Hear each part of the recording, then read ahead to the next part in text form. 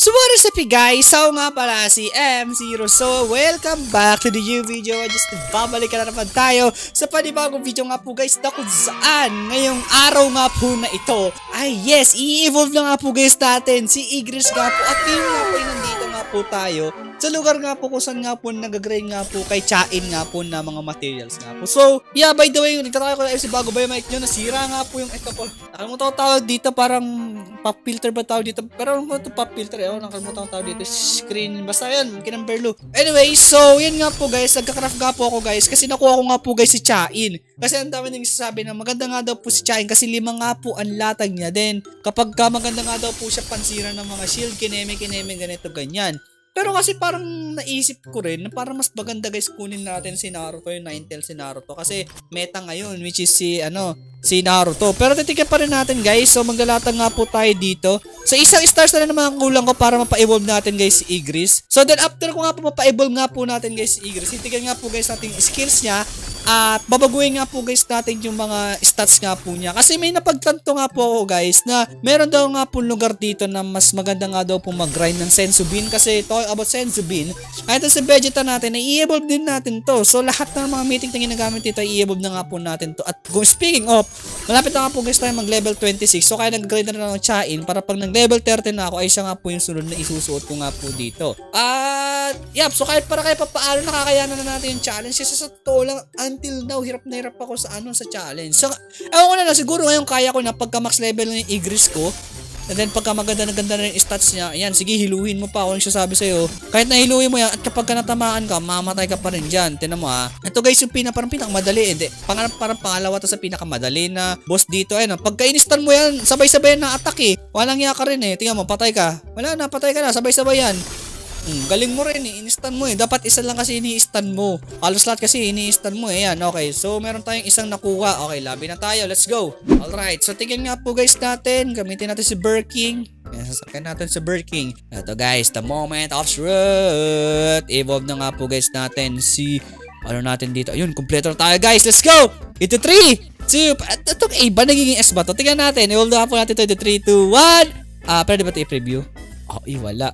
So, magiging damage siya, magiging 1.32. Oh, daki ng dinagdag. Sige nga, evolve nga natin to. eh, let's go! Igros Elite Let's go! Nice color pa. Ooh! Ooh!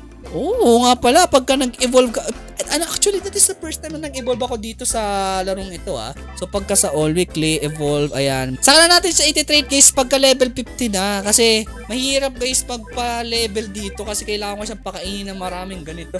Kahit na naka-scholar siya, hirap na hirap ako. Tama ba yung trait ko na scholar is para to sa mga ano, sa mga XP? Tingnan nga natin. Marami pa naman akong trait dito eh. May 17 pa tayo eh. Scholar, increase experience gained by units. O bakit ganun parang hirap na hirap ako? Uy, hindi ko pa ma-reroll yung mali. Okay, sige. Tingnan nga po guys natin. Equip natin to. 1.32k. Mas malakas na siya konti dito sa mga to. Ito kasi mataas ang level nito. Pero ito pag...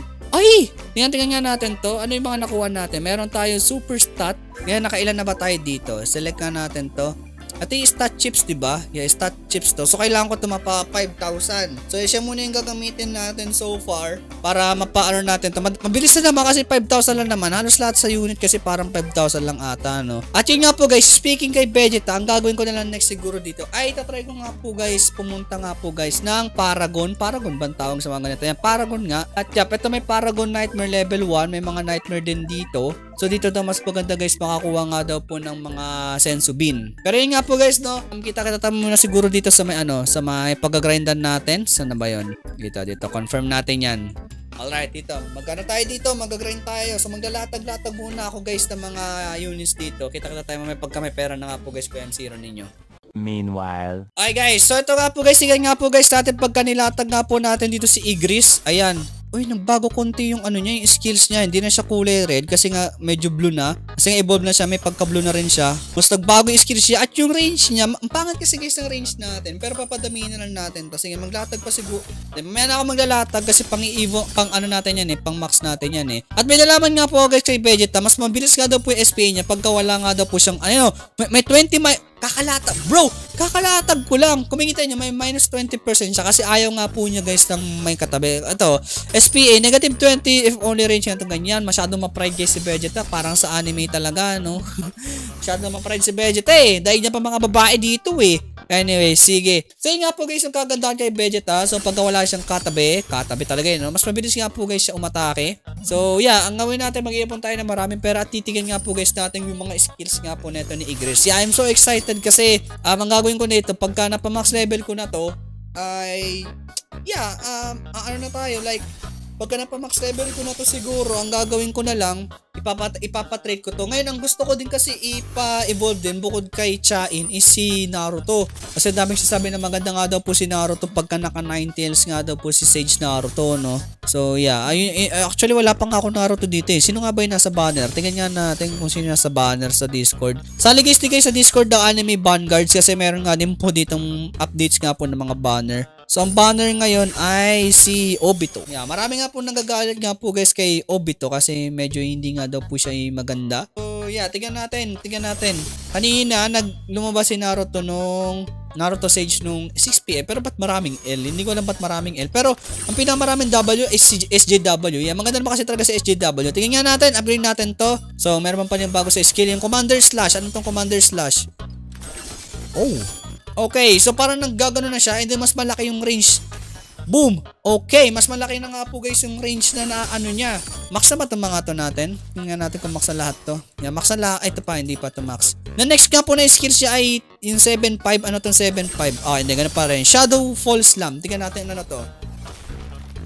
Okay, nangahampas siya. Ano ba yung ano niya? Okay, so damage 30% when dealing damage to a boss. Oh, so mas malakas yung damage siya pagdating sa boss. And then strongest shadow, so damage 30% and SPA minus 10 immune to stun.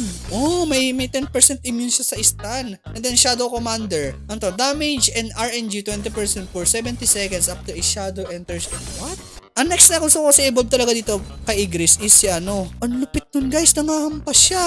Ang gusto ko kasi i-ano, di, i-ano dito guys kay Igris is si ano si SJW kasi marami nagsasabi na maganda daw si SJW kasi nag spawn nga daw po siya. Yung ginagawa niya, tingnan nyo guys oh. Ibang! Ang lupit, nangampa siya ang shadow embrace. Tingnan nga. Iyowi! Iyowi! Iyowi! Iyowi!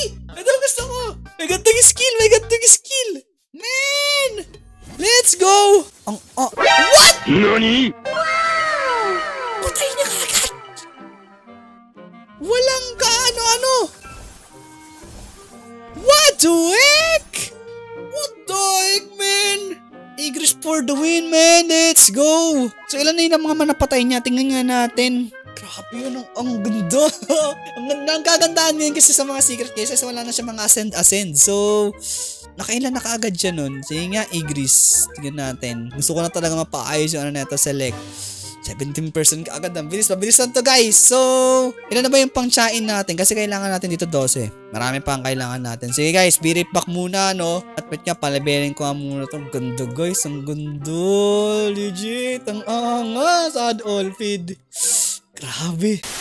Okay guys, since napa-evolve na nga po guys natin ng ating Igris nga po at kumikita nyo nga po dito sa items ay kumikita ang dami na nga po nating star. Nag-AFK nga po kasi ako. Kasi sa next episode nga po guys natin, ang gagawin ko nga po ay i-evolve nga po guys natin si ating Sanjing Wu. And speaking of Wu, ay napa-triasin ko na nga po siya. So ibig sabihin hindi ko na, hindi ko na kailangan ng, ng marami pang Sanjing Wu para mapa-triasin siya. So perfect na siya para ipa ano natin dito mapa-evolve. So yeah, ang gagawin na natin kasi para sa sila guys ang worthiness nila ay mataas. So sige, unahin natin siguro guys si Igris kasi kung makikita natin dito, napakabaduy ng stat niya at meron na siya 100%. So, mababa lang talaga 5,000. Mabilis lang to sa infinite or mag-AFK lang kayo, magkakaroon na ng worthiness yan. So sana, bigyan tayo na maganda. Into 3, 2, 1, bigyan mo ng godly.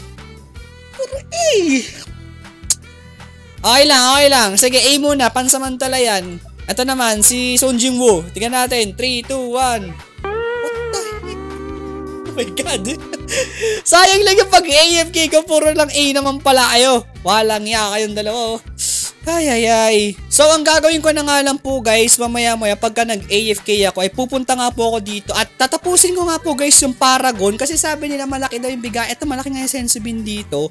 At yan, lalo na pagka naka-Nightmare tapos naka-Paragon, ayun yung maganda ata dito guys. Kasi, kumikita nyo nga po dito guys sa Paragon, live tayo dito. Sa achievements, ay meron nga po dito yeah, achievements nga po. So, clear Paragonamic, Nightmare difficulty, ganto ganyan. So, yeah, ayun yung gagawin nga po natin dito sa ano no, sa next next dito. At ang gagawin natin kasi sa unsession nga po, uh, medyo marami-rami na, na unsession natin kay Vegeta kasi si Vegeta nga po dito ay isa na nga po at meron na tayong pangalawa dito. Ang kailangan ko lang talaga ay Senzubin, maraming Senzubin. Ngayon, si Kachin, so meron na din tayong Kachin dito. Chain pala, sorry, Kachin na ako ng Kachin. Meron na ako isa dito, so dalawa na lang ang kulang natin para mapa, mapa-ascenda natin siya. At yep, ay speaking of, yun nga pala, since sa pa, palitan na natin yung ano neto ni Igris. Tayo naman kahit isa man, isa man lang dito, Igris oh, sa mga nandito. Sige na, bigyan mo na ako. Level 50 ka na, max ka na.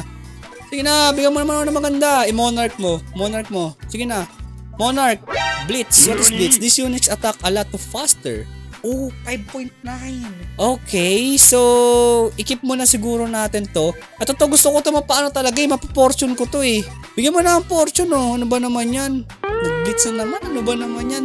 Si Sun Jingwoo, tingnan natin. Ito, baka mapamonarch natin to eh. Busin na natin dito guys. 2-1-0 range. Wala, sayang.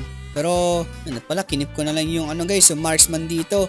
Pero yun na nga po guys to, dito ko na tatapos na video to sa GJK and now, ang kailangan ko lang talaga mag-ipon ako ng maraming 3-3 rolls. So para makapag-ipon ako, kailangan ko siguro mag-challenge challenge dito. Ayun, may mga challenge challenge dito.